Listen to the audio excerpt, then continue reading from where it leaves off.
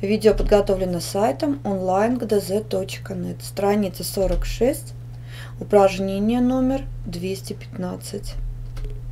Лист бумаги квадратной формы со стороной 8 см разрезали на 4 равных треугольника. Найди площадь одного треугольника. Давайте мы сначала найдем площадь всего листа квадратной формы.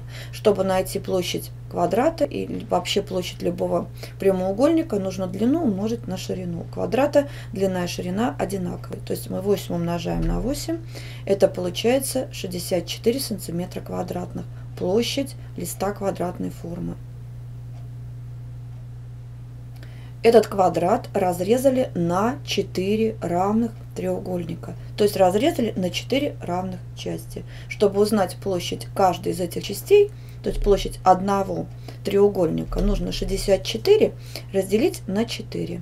64 мы представим в виде суммы следующих слагаемых 40 и 24. 40 делим на 4 это 10.